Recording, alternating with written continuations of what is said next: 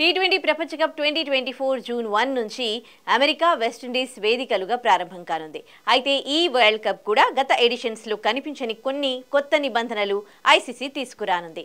వాటిలో కీలకమైనవి అరవై సెకండ్ల stop clock rule ICC T twenty world cup twenty twenty ఫోర్లో అరవై సెకండ్ల స్టాప్ క్లాక్ నిబంధనను ఉపయోగించనున్నామని ట్రయల్ పీరియడ్లో వన్డే మ్యాచ్లలో కనీసం ఇరవై నిమిషాల సమయం ఆదా చేయడంతో అపెక్స్ బోర్డు ఈ నిబంధనను తప్పనిసరి చేసేందుకు నిర్ణయం తీసుకున్నట్టు పేర్కొంది.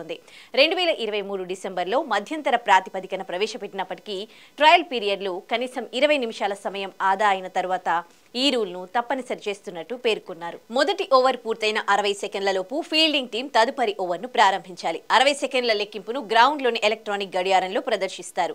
గడియారం ప్రారంభ సమయాన్ని థర్డ్ ఎంపైర్ నిర్ణయిస్తాడు. సకాలంలో ఓవర్ను ప్రారంభించని క్రమంలో జట్టు కెప్టెన్ను రెండు హెచ్చరికలు చేస్తారు. మూడోసారి ఫీల్డింగ్ జట్టుకు ఐదు పరుగుల జరిమానా విధిస్తారు. అంటే బ్యాటింగ్ టీంకు అనుకూలించే అంశంగా చూడొచ్చు. కానీ సమయం ఆదా చేయడం దీని ప్రధాన ఉద్దేశం. అయితే స్టాప్ క్లాక్ రూల్లో కొన్ని మినహాయింపులు కూడా ఉన్నాయి. ఉన్నాయి.